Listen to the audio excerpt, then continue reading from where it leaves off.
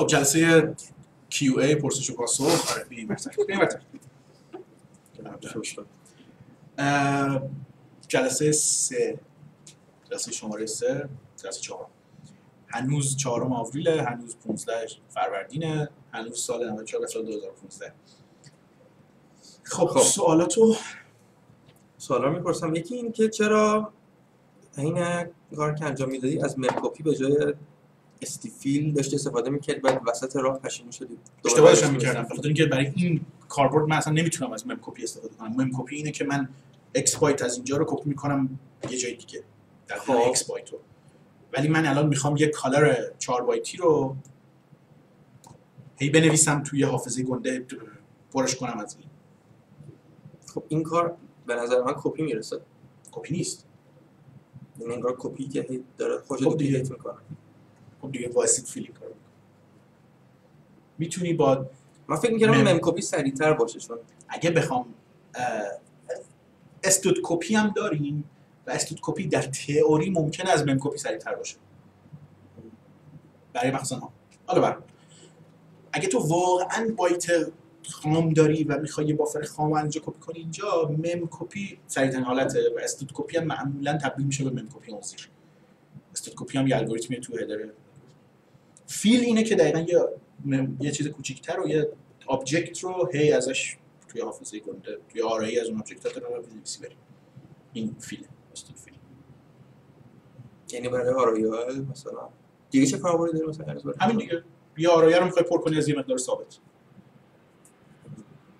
همین استفاده است. استفاده خوبیه دیگه زیاد اتفاق میفته به اینکه حلقه بذاری از این الگوریتم استفاده. اینا از چیز اومدن از Boost اومدن؟ نه اصلا. این استاندارد سی پلاس پلاس از سال 98 بوده. از STL واقعا اومده از library که الکس استپانوف توی فکر کنم تو SGI کنم develop کرده فکر می‌کنم تو SGI Silicon Graphics آره.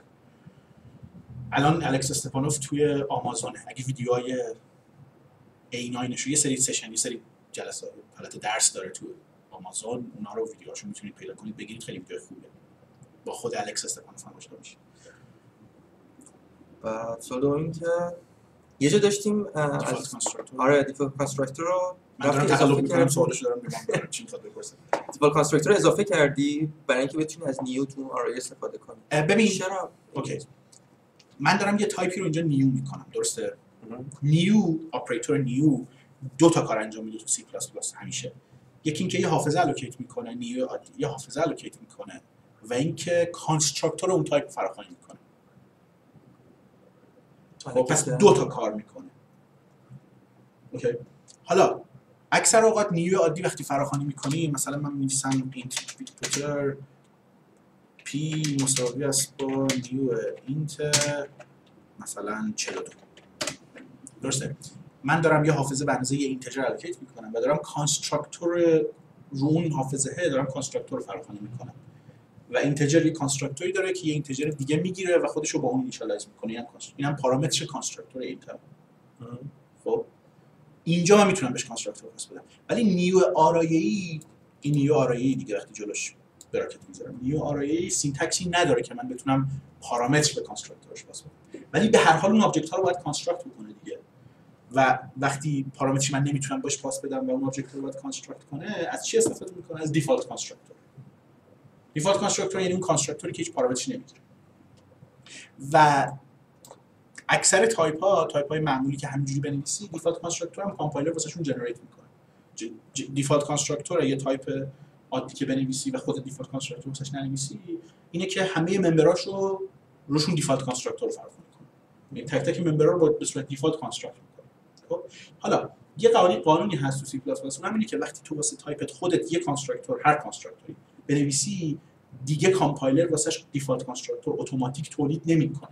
چون اومد توی territory که آره یه کاری داره می‌کنه. لابد default constructor نمی‌خوای شاید نخوای default constructor. شاید بخوای نشه اینجوری construct ش کرد. چرا اصلا معنی نداشته باشه برای type default construction؟ شاید تایپ من داشته باشم حتما یه data لازم داشته باشه برای construct کردنش. برای همین default constructor خود کامپایلر دیگه generate نمی‌کنه. ولی این تایپ ما این color ما ما که به هر حال می‌خوایم توش پر کنیم.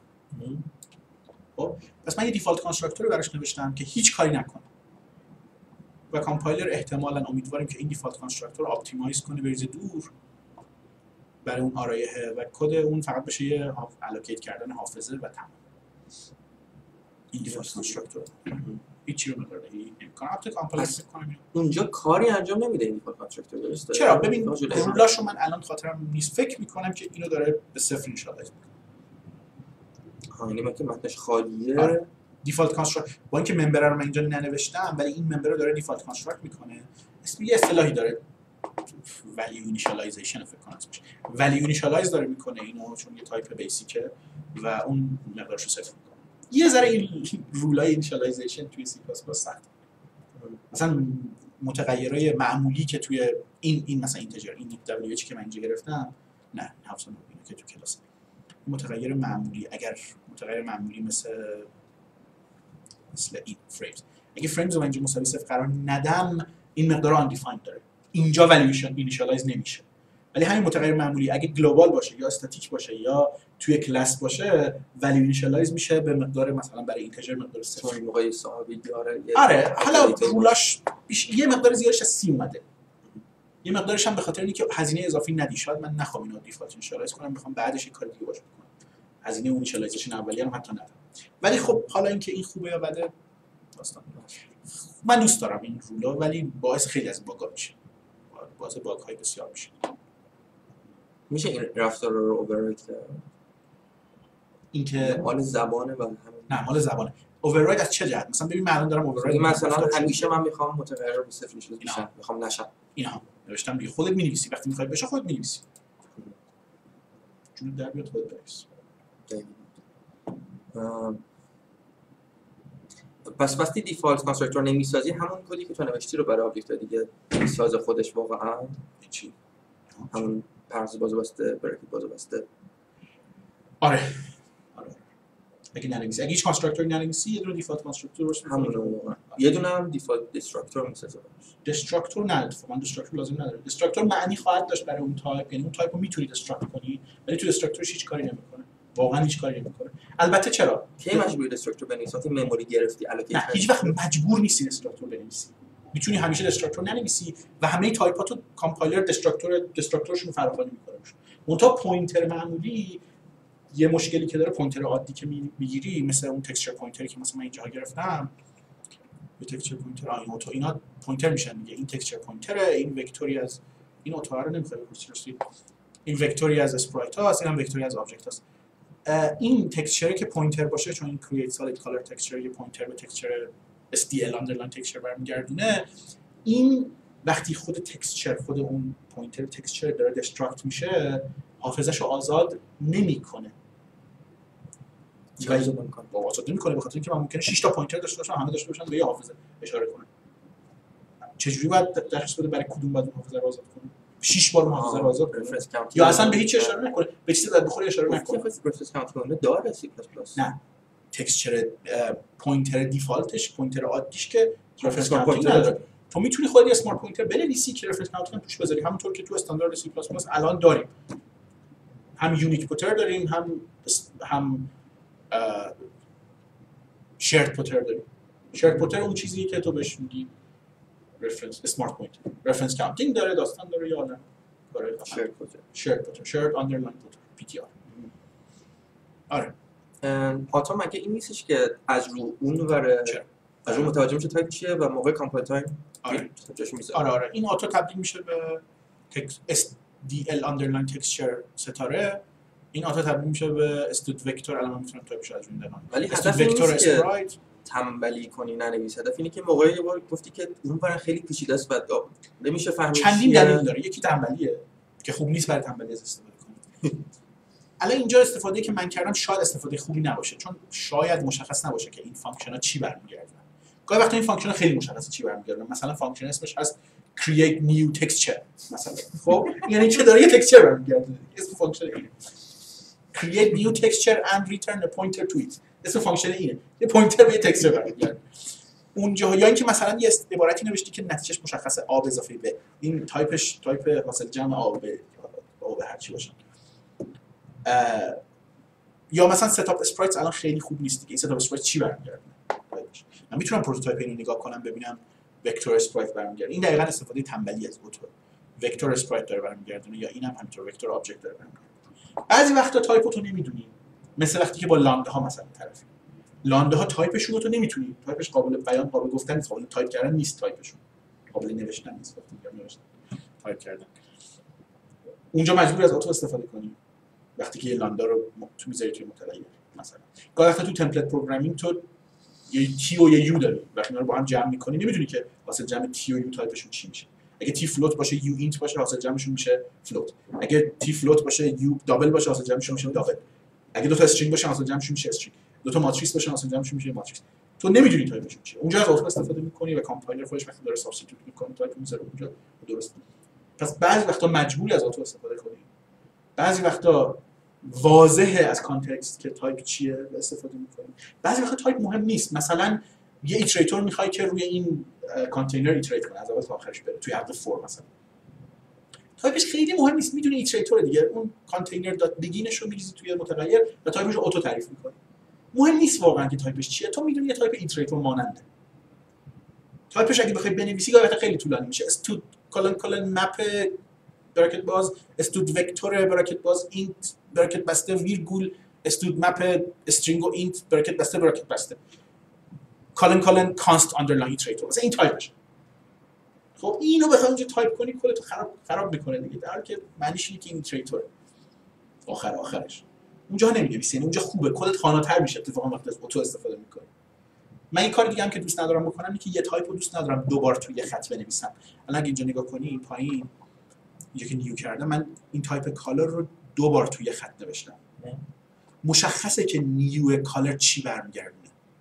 خیلی خوب میشه اگه من اینجا رو بنویسم توی یه خط redundancy نداشته باشم دیگه. دو بار دارم color استفاده می‌کنم. و مشخصه که وقتی new ش می‌کنم pointer به این برمیگردونه دیگه. پس یعنی همه همه data یی که من می‌خوام همینجا تو همین خط هست. اینجا دیگه redundancy اضافه نکنم بهتره. با اینکه color ستاره خیلی تعداد کاراکترش بیشتر از auto نیست. خیلی تایپ کردن سخت نیست. ولی اینجا خوبه که از auto استفاده یه مسئله دیگه اگه یه موقع جلوی اشتباه ولی آتا نمی‌گیره درسته؟ همیشه به یه چیزی تبدیل میشه درسته؟ آره آره. اتو اصلا runtime و این چیزا نیست. یک تایپ مثلا polymorphic runtime یه چیز عجیبی که به چند تا چیز ب- اینجوری نیست. نه مثلا فرض کن اون iterator ی که داری می‌نویسی منظورت اون نباشه. آها این خطا ممکن پیش بیاد دقیقاً. یه وقتایی تو می‌نویسی int type checking و اینا نداره دیگه درست. نه نه اصلا type ش compiler دقیقا از روی اون عبارت سمت راست عبارت برداشت می‌کنه. وقتا اون تایپی که تو می‌خوای نیست. مثلا عبارت سمت راستت داره یه تایپ عجیب غریب برمیگردونه. تایپ عجیبی که تبدیل میشه به integer و تو می‌خواستی integer ش رو بگیری که باهاش جمع تفریق انجام بدی یه تایپ عجیب غریب اونور برمیگردونه خب مثلا cast بشه به integer. خب همین دیگه. اگه از auto استفاده کنی دیگه اون cast رو انجام نمیده کامپایلر وقتی تو explicit می‌نویسی int x مساوی است با عبارت عجیب غریب می‌تونی اینو compiler cast cast ش می‌کنه به. integer و قطعا integer بهت میده.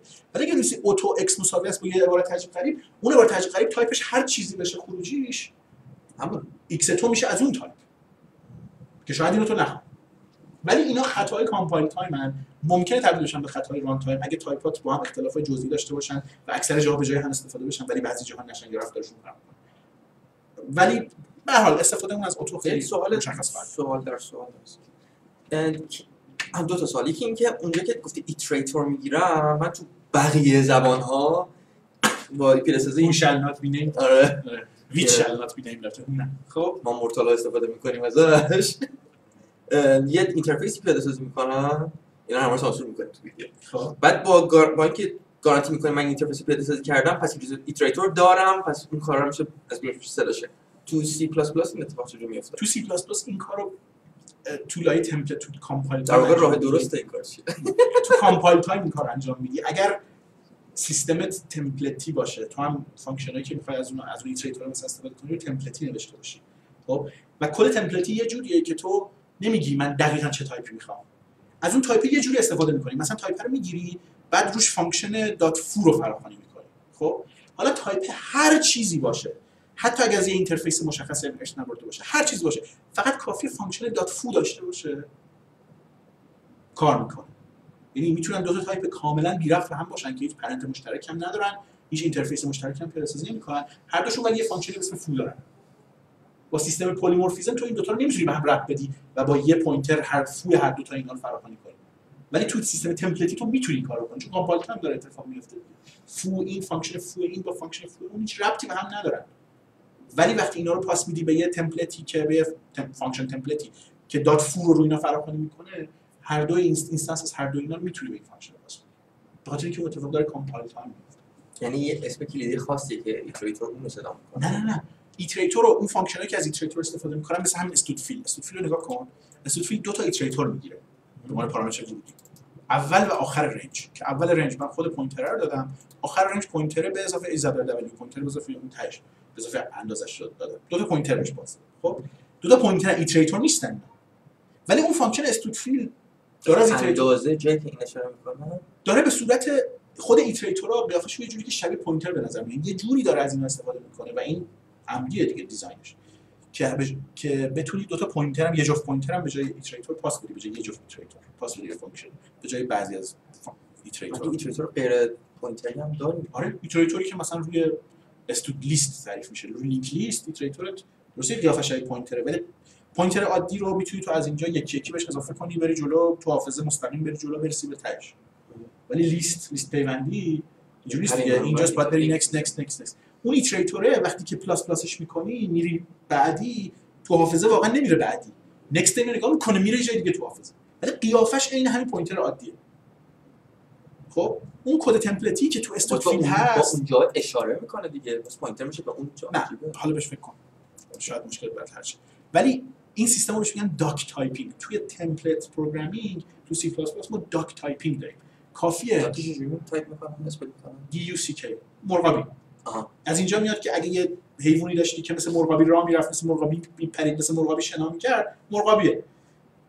درسته؟ یعنی برای مقاصد ما می‌تونیم به عنوان مرغابی بهش فکر کنیم. حالا هر چیزی اردک هم ممکنه باشه.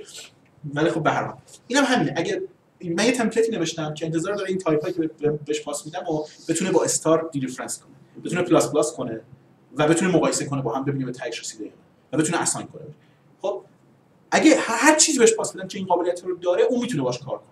حالا استاندارد C plus plus به همچین تایپی میگه forward iterator اسم خاص داره concept ی بهش میگه forward iterator هر تایپی که این قابلیت رو داشته باشه. اصلا لازم نیست از تایپ خاصی ارث ببره اصلا لازم نیست interface خاصی رو پیاده کنه اصلا لازم نیست virtual و polymorphic و غیره باشه. کافیه فقط اون operation رو داشته باشه. حتی اون operation ش لازم نیست signature مشخصی داشته باشن. signature ش فقط با شبیه اون چیزی باشه که اون انتظار داره. این ترمز چجوری میشه iterator می‌نویسی کار می‌کنه دیگه. iterator میری استاندارد C plus plus رو می‌خونی ببین چه requirement ی واسه iterator مثلا پنج جور iterator داریم تو استاندارد C plus forward iterator backward iterator random access iterator و input iterator رو یه جور دیگه کلمه یادم نیست. forward backward نمی‌دونم. اه، چرا یادم پنجم میشه. خب مهم نیست. میری نگاه می‌کنی requirement رو قشنگ نوشته. نوشته forward iterator باید این operation رو فراهم کنه. باید این operation داشته باشه باید این داشته باشه این داشته باشه. کافی تو اون رو پیاده کنی. حالا لازم نیست در نهایت اون دنبال. چی میگرده؟ دنبال یه signature خاص میگرده؟ دنبال دنبال ببین- چه نوعیه؟ تو سیستم temp دقیقا نوشته چی هم دیگه نوشته این function رو باید داشته باشه. آه، یعنی اسم function آره رزرو آره شده نوشته. دو رزرو شده اصلا نیست. signature ش مهمه. آره دیگه. ببین تو وقتی interface می‌نویسی مگه function ی که تو interface پیدا می‌کنی رزرو شده است؟ نه. اون function مهمه به خاطر یکی دیگه اون function رو داره فراخوانی می‌کنه. دیگه تو اون حالت رزرو شده میشه دیگه. اگه رزرو شده که نیست رزرو. سیستمی نیست آره. خب رز کلمه رو نباید استفاده کنی برنامه نویسی ما کلمه رو به هر معنی که دلمون خواست که نمی‌تونیم استفاده کنیم. در اون که اون رزرو شده نیست. ولی تو اون context معنی داره. چون اون کسی که داره است... دقیقاً انتظار داره که یه همچین operation ی داشته باشه اون چیزی که pass می‌دی. ولی inheritance based نیست.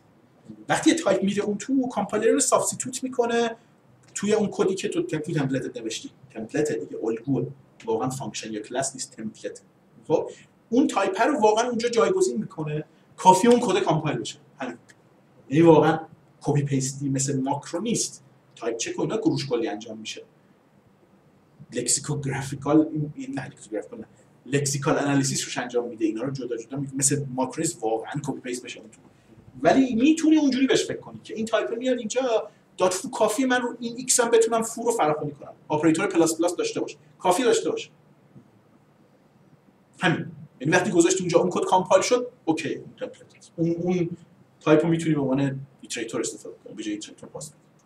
مثلا pointer یه مثالش. pointer قیافه شبیه اون چیزی که اون از iterator انتظار داره. ولی سوال دیگه این auto وقتی که compile میشه یه جوری همون auto ی میمونه اصلا. اصلا تبدیل میشه به اون تایپی که باید باشه. ببین چرا؟ من حدسم همینه ولی فکر می‌کردم که وقتی که compile می‌کنی بسته به چه ورودی میاد اون auto ی ممکنه عوض بشه نوعش. دقیقا این اتفاق ممکنه بیفته ولی اون تو همون زمان compile اتفاق میفته و مثلا تو کد template ی سه نسخه مختلف از اون function فراخوانی میشه. چیز generate میشه. اگه توی function template می‌نویسی یه بار برای integer فراخوان استفادهش می‌کنی یه بار برای float فرا استفادهش می‌کنی یه بار برای string استفادهش می‌کنی خب اگه سه نسخه مختلف از اون قبول. function. ولی اگه تو استفادهش نکنی چی؟ یکی دیگه استفاده بکنه اون موقع برای اون ساخته میشه مثلا DLL باشه. template ها برای همینه که بدنه template ها تو header کامل می‌نویسی.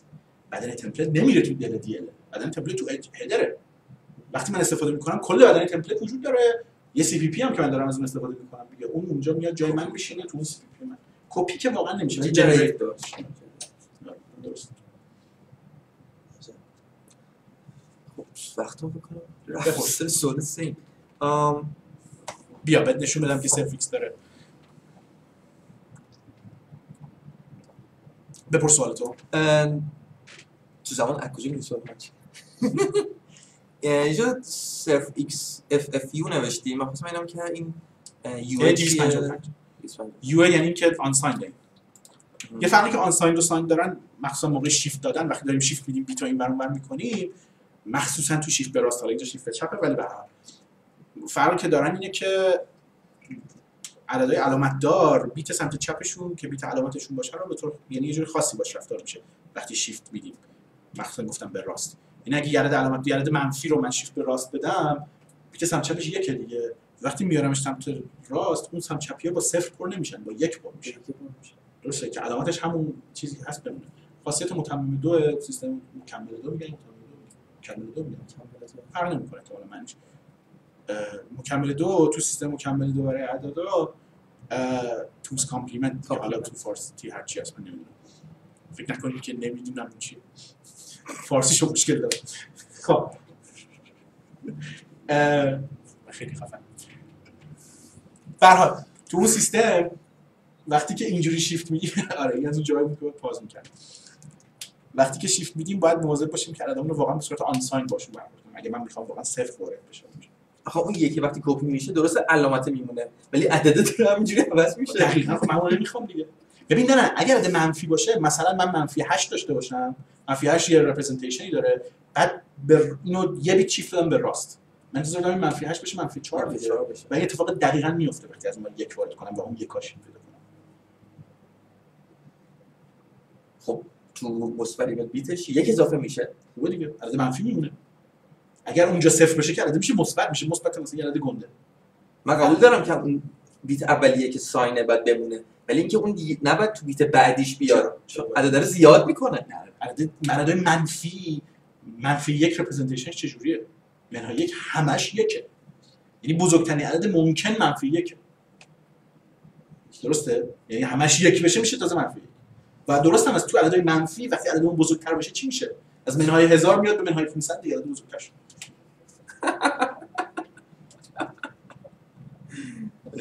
خب کلمه کلیدی inline. بلد نیستم گوگل کنم از شما می‌پرسم. inline یعنی که لطفا کامپایلر جون عزیزم قربونت بشم. تو رو خدا اگه به من اهمیت میدی اگه می‌خوای کد من درست کار کنه یا خوب کار کنه یا performance کار کنه performance بالا کار کنه پیاده سازی این function رو اینجا بیا بذار. نه. به تپون هر کی این function فراخوانی می‌کنه پیاده سازیشو بذار همونجا. اگه می‌تونی اگه صلاح می‌دونی اگه ستارگان با هم align شدن. آره align شدن این کارو بکن. هیچ تضمینی نیست کامپایلر واقعا این کارو بکنه. چرا تو ترجیح میدی این اتفاق بیفته؟ به خاطر اینکه کد این color کد constructor color چه شکلیه؟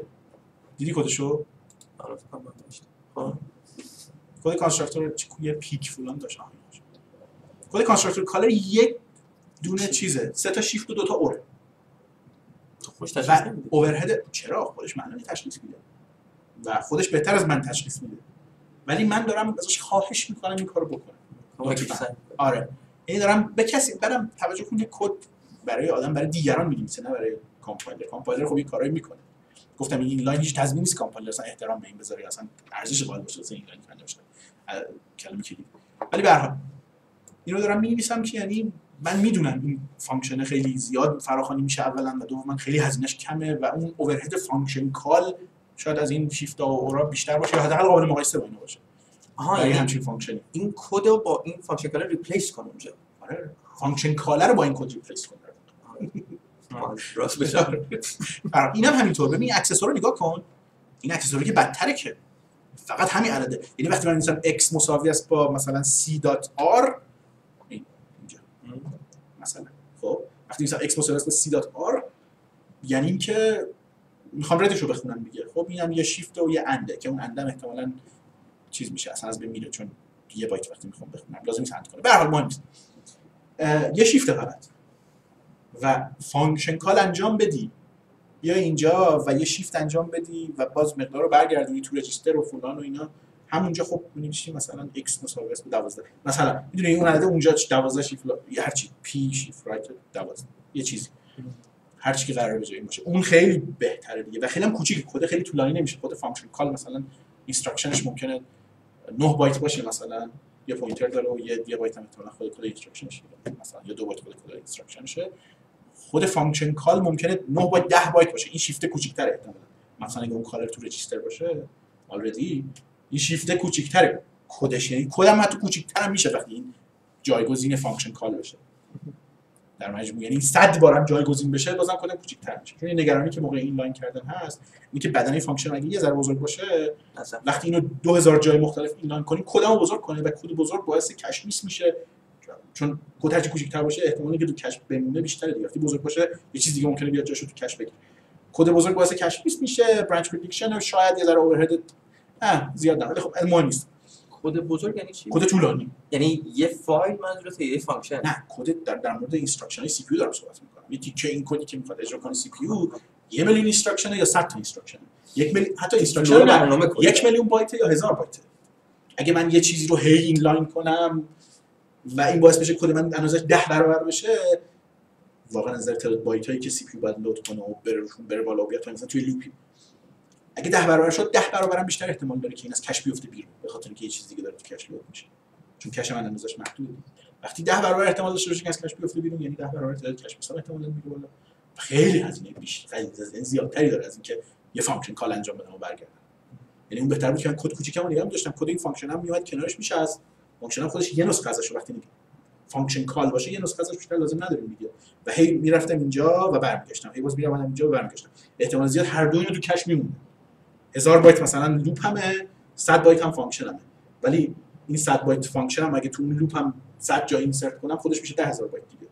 ببین فرض کنید کد 1000 بایتی داریم که توش 100 بار یه function داره فراخوانی می‌کنه. حالا عددمون خیلی درست نیست ولی فرض کنید اینجوری. خود بدنه function 100 بایت. من یه جوری کامپایلر رو مجبور می‌کنم که این 100 بایت رو inline کنه تو اون 1000 بایت. اندازه اون 1000 بایت میشه چی؟ میشه 100 تا 100 بایتی دیگه. میشه 10000 بایت اندازش. درسته؟ چون 100 تا 100 بایتی بهش اضافه شده دیگه 10000 بایت بهش اضافه میشه. خب و اندازه کد من از 1000 بایت میشه 10000 بایت. حالا حدودا 10 برابر شده اندازه کد. و گفتم 10 برابر احتمال cache miss توش بیشتر میشه. در حالی که اگه اون 1000 بایت نگه می‌داشتم یا 100 بایت هم می‌ذاشتم کنارش می‌شد 1100 بایت. و function رو هی می‌خواستم call کنم هی برگردم call کنم برگردم. احتمال cache miss توش خیلی کمتر بود. که تقریبا یک دهم توش احتمال cache miss. اونجا inline کردن نمیصرفه. ولی یه جاهایی مثل این که function مون خیلی کوچیکه inline کردن میصرفه. ولی خود کامپایلر قشنگ این تصمیما رو می‌گیره. یعنی اون inline ی که من می‌نویسم فقط یه خنده‌ای می‌کنه کامپایلر. ساده ای تو مثلا. خود من تصمیم می‌گیرم چیکار کنم. یه keyword برای تو Visual Studio keyword underline underline force inline هم داریم که حتی اونم فکر کنم تضمین نیست حتما inline بشه ولی فکر می‌کنم. ولی معمولا اونو inline استفاده آره، شده. یه دیگه خیلی دیگه اصرار داری خب بیا inline می‌کنم گاهی وقتا تو نمی‌خوای مثلا یه function ی به صورت function وجود داشته باشه. من اینو تو مثلا تلاش های احمقانه واسه که مثلا copy protection رو درست کنم این کارو می‌کردم force inline کردم function رو. که این کد پخش بشه تو کد اصلی. یه function که اون function رو بتونی replace کنی بهش بذاری return کن true و همیشه true برگردونه خب تا احمق مثلا. مهم نیست. خب. تفاوت dot و فلش تو؟ یه چیزی فقط در مورد inline بگم. الان این function رو می‌بینی این inline function ی که تو خود همین داخل بدن کلاس بنویسی اتوماتیک انگار کلمه inline رو پشتش نوشتی آها. function ایی که جدا نکردی بدنشون رو از چیزشون. در مورد کلاس فقط اینجوریه انگار کلمه inline نوشتی و اونجا خود کامپایلر دیگه مثل همین inline عادی خود کامپایلر تصمیم می‌گیره همیشه خود compiler inline شدن تصمیم می‌گیره. فقط تو با مثلا setting های کامپایلر می‌تونی بگی مثلا بیشتر سعی کن inline کنی.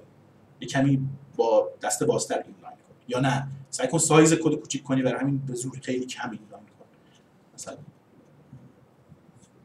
تو اینا رو پس بقیه رو برای این inline کردی که چون متنشون اینجا نیست درسته؟ برای برای همین این اینا رو دقیقا اینجا نوشتم. متنشون متنشون هم خیلی کوچیک بود می‌تونستم همینجا جلوش بنویسم ولی خب خواستم ببینید که چه جوریه. و تفاوت dot و فلش رو dot روی روی value یا reference dot می‌ذاریم وقتی می‌خوایم member اشو یا متداشو فرق استفاده کنیم. اگه pointer باشه فلش می‌ذاریم منتها اپراتور فلش و اپراتور dash بزرگتر رو میشه overload کرد. برای همین من می‌تونم یه value type ی داشته باشم یه ولیوی داشته باشم که روش فلش هم dot بتونم بذارم هم فلش. dot واقعا member ها و متدای خودش رو فراخوانی می‌کنه فلش اوورلودر رو فراخوانی می‌کنه که تبدیل میشه به تایپ دیگه. در مورد اوورلود کردن فلش ممکنه توی پروژه صحبت کنیم ولی خب ممکن از احتیاج نباشه. می‌تونید برید داکیومنتیشن و این چیزا بخونید در مورد اوورلود کردن اپراتور فلش. ماجی یاد داشتم در مورد امپلیس بک برام بخونم که آره من ترجیح میدم خیلی توضیح ندم. مربوط به همون آر ولیو رفرنس و موو و این چیزا میشه ام پلیس بک مربوط به پرفکت فوروردینگ و in-place construction میشه. به variadic templates ربط داره به r-value reference ربط داره به perfect forwarding ربط داره به factory ربط داره به همین ربط داره. توضیحش خیلی طولانی اگه بخوام توضیح بدم. در حالت عادی اگه یه object رو می‌خوای construct کنی بعد بدی vector بگی بذاریم تهش این کار خودش باعث دو تا کپی یا مثلا حداقل یه کپی move از این چیزا ممکنه بشه. همون move هم free نیست. ولی وقتی emplace back استفاده کنی پارامترهای constructor بهش میدی. میگی که برو اونجا تو که می‌دونی memory این object آخرش کجا می‌خواد قرار بگیره تو حافظه؟ مثلا 100 تا داری 100 یکمی می‌خواد قرار بگیره. برو اونجا همونجا construct کن با این پارامتری که دادم. قبل از C plus 11 این امکان اینجوری نبود. پر نه perfect forwarding perfect واقعا داشتیم. perfect forwarding یعنی من چیزی بدم به تو تو اینو بدی به یکی دیگه و این وسط هیچ اطلاعاتی از بین نره. و تو برات مهم نباشه واقعا من چی دارم بهت میدم هر چیزی من بهت میدم می‌تونی بگیری بدی به اون. اون براش مهم باشه پارامترهای constructor همینن دیگه. تو نمی‌دونی اون چه constructor ی داره. تو نمی‌دونی اون تایپی که داخل چند تا constructor داره چه constructor ی داره. ولی هر پارامتری که من بهت بدم و میدی به constructor اون و کامپایلر تصمیم می‌گیره که خب ممکنه 60 بار overload شده باشه constructor ش دیگه. کامپایلر تصمیم می‌گیره واسه این پارامتری که تو دادی کدوم constructor فراخوانی کنه. و, این وسط هیچ data از این پارامتر از بین نمیره مثلا این پارامتر کپی نمیشن. می‌دونی؟ حتی move هم نمی‌گیره. move یه reference یه r-value reference بهشون کپی میشه. ولی اون چیزی نیست که pointer مهم نیست رو stack میشه نیست ولی بحثش خیلی بزرگ و طولانی استفاده درست ازش خیلی مهم و سخت پیاده سازی است. استفاده شاید آسون باشه. ولی اینو بخوای خودت پیاده سازی کنی کار سختیه که ما مجبور انجام بدیم. ما چون احتمالا خودمون یه container vector مانند خواهیم لازم خواهیم داشت. که خودمون باید پیادهش کنیم. و تو اون در مورد این صحبت می‌کنیم. در مورد فلسفه const correct من نوشتم برام بخونم اگه توضیح کوتاهی می‌خوای بدی؟ const correct هر وقت یه پارامتر می‌گیری اگر تغییرش نمی‌خوای بدی مخصوصا وقتی reference و pointer می‌گیری یه function دارم صحبت توی interface دارم صحبت می‌کنم. یه پارامتری از بیرون داری می‌گیری. دقیقاً اه. یه جایی که این داره اشاره می‌کنه رو نمی‌خوای دست بزنی. نه هر چی. ممکنه خود اینو تکون ندی یا جایی که داره این اشاره می‌کنه تکون ندی. به هر حال. کلا دست میچی نه نه اینا با هم فرق می‌کنن. خیلی مهم نیستش که پارامتری که ببین pointer ی که داری تو می‌گیری تو interface function خود pointer value ه درسته؟ درسته. ولی اون چیزی که این داره بهش اشاره می‌کنه تو داری by pointer by reference داری می‌گیری. درسته. خود pointer رو می‌تونی عوض کنی. و value چون کپی شده اومده دست تو تو من اگه آره. pointer داخلی خودم عوض کنم اون pointer ی که اون از بیرون جواب داشته به یه جای آره دقیقاً. ولی اگه از این pointer پیگیری کنم برم محافظه که داره می‌کنه اونجا رو عوض کنم رو state بیرونی هم اثر می‌ذارم const جلو اونو می‌گیره. آره من می‌خوام که جلوی اونو بگیره. یا reference وقتی می‌گیرم خب reference فرقش یکی از فرقاش با pointer اینه که خود reference رو دیگه نمی‌تونم جابجا کنم. یعنی اون امکان اولیه رو ندارم. وقتی reference می‌گیرم یعنی که می‌خوام اونو دستکاری کنم دیگه قاعدتا. ولی وقتی نمی‌خوام دستکاریش کنم فقط reference رو دارم به عنوان یه optimization می‌گیرم. به خاطر اینکه اون object رو کپی نکنم بیارم تو function فقط reference بهش می‌گیرم. اونجا خیلی خوبه که می‌نویسم const reference یعنی من نمی‌خوام این دست بزنم. فقط می‌خوام بخونمش. اگه تو signature کنار پارامتر رو بذاری. const چی؟ چیه؟ همین دیگه. منظورت اینجاست؟ مثلا اینجا بنویسم const آره مثلا تک تک کنار اینو بذاری const اون فرقش اینه که من این آ... من منظور اینه که من این R و G و B رو داخل این function عوض نمی‌کنم. که اصلا مهم نیست. مقدارشون رو آره. خب مهم نیست دیگه چون این R یه کپی از یه مقداری که از بیرون اومده G هم یه کپی از یه مقداری که از بیرون اومده. value type هم دیگه کپی میشه. B هم یه کپی از این مقداری که از بیرون اومده. مهم نیست من عوضش کنم مقدار مال خودم هر کار داره. پس این const ی که بیرون تابع این const ی که بیرون می‌ذارم؟ گارانتی می‌کنه که این ایزوله است. نه const ی که اینجا می‌ذارم یعنی که اینو عوض. نداره یعنی اینو عوض نمی‌کنم. برای آپریتور فرق نه نه نه هرچی همه این const ا خب. معنیش اینه که هیچ کدوم از اینا member ای این کلاس و data member اش عوض نمی‌کنن آها، چون برای کلاس درست خب این جزء state global دیگه چون این کلاس رو ممکنه که دیگه ازش یه pointer reference یه چیزی به این داشته باشه به همین instance و من اگه این member رو عوض کنم دارم خرابکاری می‌کنم. درسته؟ میرم توی function اون زیر member رو عوض می‌کنه این function یعنی داره state منو عوض می‌کنه. من یه instance دارم از 100 هزار تا color و function R R R اشون هم red ای همشون می‌خوام با هم جمع کنم. اگه هیچ تضمین نباشه که این red ا const ن ممکنه اون زیر red ا هر کدوم. عددا رو عوض کنن. ممکنه بکنن دیگه. const correct بودن یعنی اینکه من contract من قرارداد میبندم با بقیه. دارم به بقیه میگم من چیزی رو عوض نمی‌کنم. اعتماد کنید به من. و اینو تو header می‌ذاری که همه ببینن همه ببینن. حتی باید جزء signature function ه همین function رو من می‌تونم رو const بودن overload کنم. من می‌تونم اینو overload کنم. یه نسخه بدون const ش بله. و چجوری؟ ambiguous نیست؟ call ش نیست دیگه. وقتی که const باشه reference object اون object وقتی constant باشه object ی دارم متد R رو فراخوانی می‌کنم کانستنت باشه نسخه کانستش رو فراخوانی می‌کنه. constant نباشه نسخه غیر const ش غیر const ش به r-value l-value بودنش هم بستگی داره. چیزاش rule اش پیچیده است. ولی یکم باش کار کنی میفهم که کدومو کی فراخوانی می‌کنه. ببین میگن چی؟ quote اسپایدرمن دیگه درسته؟ With great power comes great responsibility. آره اینه دیگه. power رو داره بهت میده دیگه. هر کاری بخوای می‌تونی بکنی. حالا هر کاری که نباید خب در بیشتر از زبونی دیگه کار می‌تونی توش انجام بدی. حالا اینکه خوبه بده کاری ندارم ولی حداقل مشخصه که بیشتر از اون کار می‌تونی انجام بدی. اگه درست زندگی کنی درست استفاده کنی از این feature ها کارهای بیشتری و بهتری می‌تونی انجام بدی. با performance بهتر با کنترل بیشتر با کد کمتر حتی می‌تونی انجام بدی. اگه بد استفاده کنی گیج میشی و تو این مرداب غرق میشی. with great power comes more problems. خب. چرا از uint 32 به جای int استفاده این می‌کنی؟ سوال یه بار پرسیدی و اون دفعه در مورد 32 بودنش صحبت کردم. اینکه uint 32 تضمین شده که 32 بیت باشه. int هیچ تضمینی نیست که 32 بیت باشه. ممکن 16 بیت باشه ممکنه 32 باشه ممکنه 64 بیت باشه. هر چیزی ممکنه باشه. اون دفعه underline t داشت. uint 32 الان من تو این کد هیچ جا استفاده نکردم.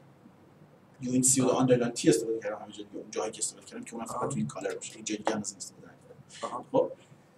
این u بودنش unsigned بودنش هم دلیلش اینه که دلیلش اینه که unsigned دیگه. دلیلش اینه که همون بحثی که در مورد شیفت دادن و اینا کردیم دیگه. نمی‌خوام وقتی اینو شیفت میدم یه بیت علامت اینجا پخش و پلا بشه.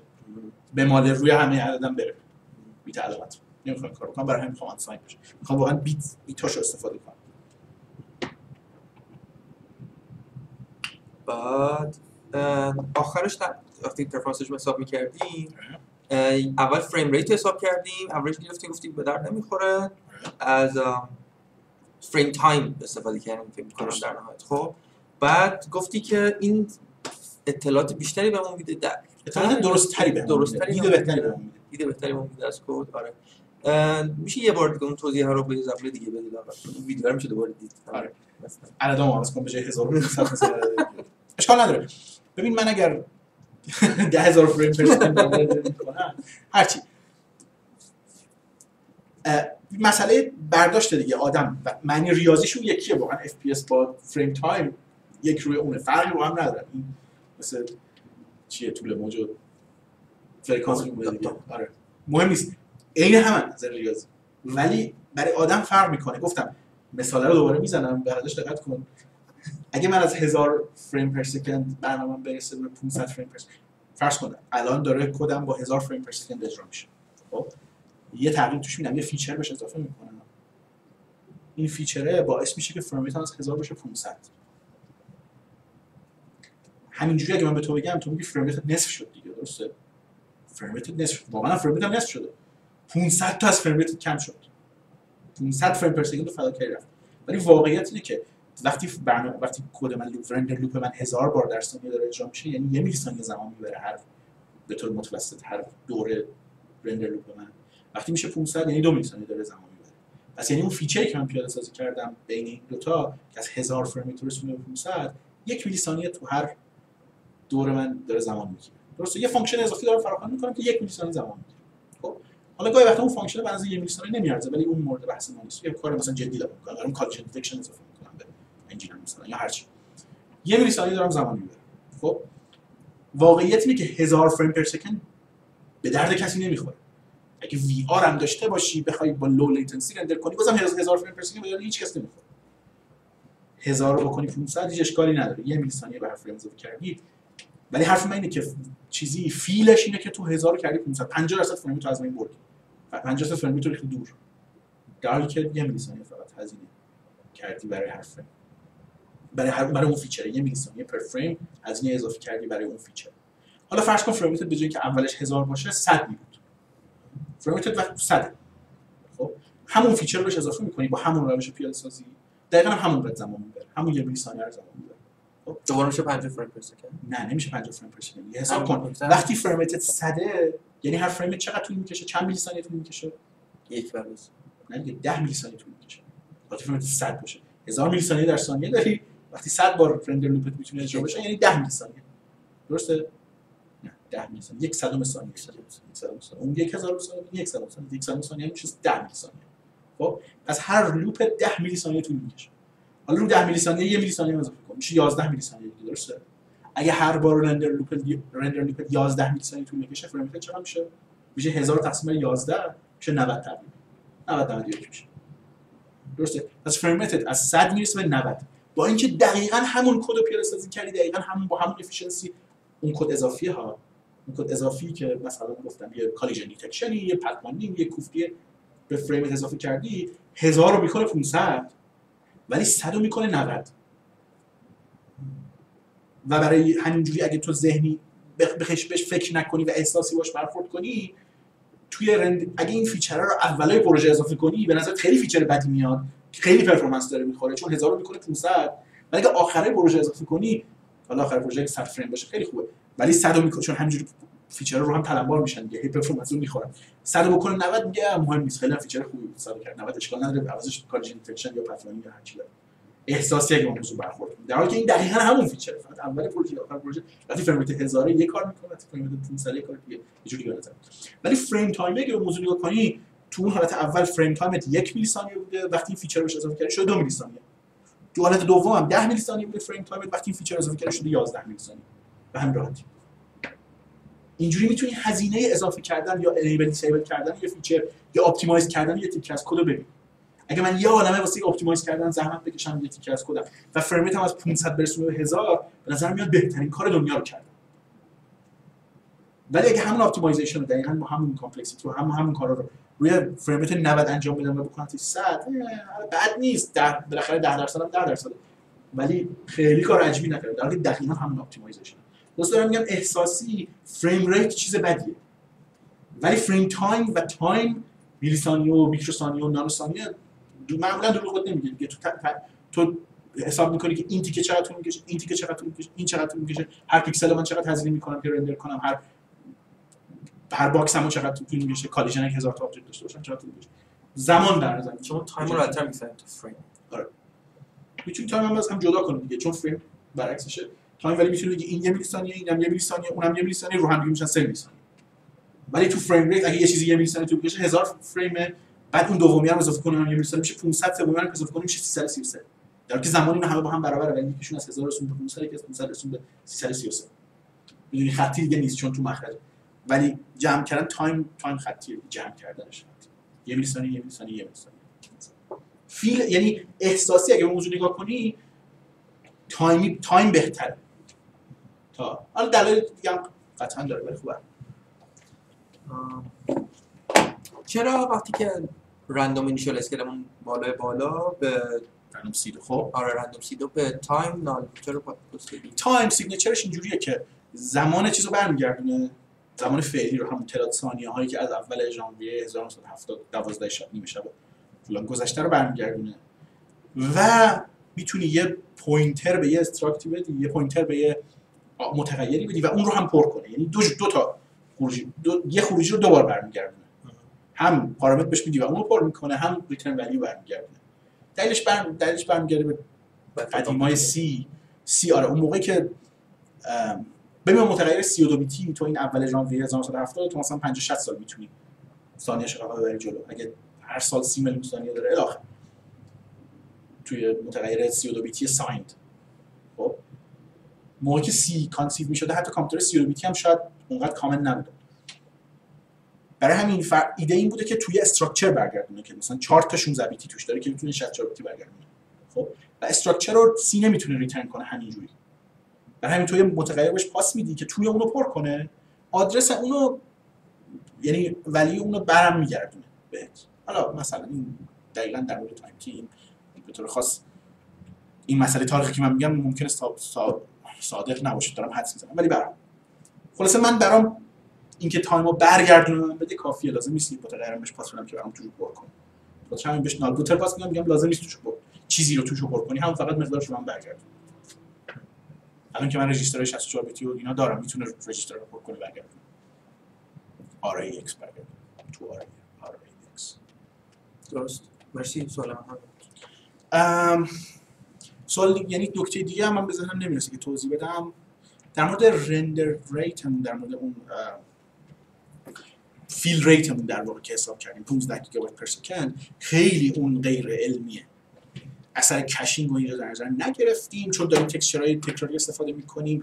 اگر من اینا رو sort می‌کردم بر حسب texture شون احتمالاً fill rate هم خیلی بهتر می‌شد. اگه از عقب به جلو sort می‌کردم البته خب الان که ترتیبم واقعا همون ترتیب draw مه یعنی ترتیب ندارم Z, Z order ندارم. ولی برام یه عالمه کار دیگه می‌تونستم بکنم. میگم حداقل اینکه اگه به ترتیب texture و ترتیب sprite اشون object رو sort می‌کردم یعنی object که از یه sprite استفاده می‌کنن میذاشتم کنار هم. احتمالا از cache بهتر استفاده می‌کرد cache GPU بهتر استفاده می‌کرد برای خوندن texture و ف... چیزم بیشتر می‌شد fill rate هم بیشتر می‌شد احتمالا. اگه تنبل نبودم حتما اینو امتحان می‌کردم. ولی به هر حال غیر علمیه این روش اندازه‌گیری که ما داریم انجام میدیم. خیلی هم غیر علمیه ولی یه بال یه حدودی بهمون میده از اینکه کجای کاری. چند پیکسل در ثانیه من می‌تونم per frame در ثانیه می‌تونم push کنم رو صفحه نمایش. می‌تونم محاسبه ذهنی الان انجام بدم که مثلا اگه رزولوشن 1920 1080 باشه 60 فریم بخوام چقدر؟ آیا می‌تونم 60 فریم رو پر کنم؟ چقدر اووردرا می‌تونم داشته باشم؟ چند بار صفحه نمایش می‌تونم رو هم رسم کنم؟ از عقب بیام جلو. تا همچنان تارگت مثلا 60 فریم پر سکند هم تو رزولوشن 1920 1080 میت کنم به هر حال این ابزاری که بهمون به این اجازه این محاسبه ذهنی رو میده محاسبه حدودی رو بهمون میده. همین. مرسی. این ویدیو هم تمومه. خداحافظ.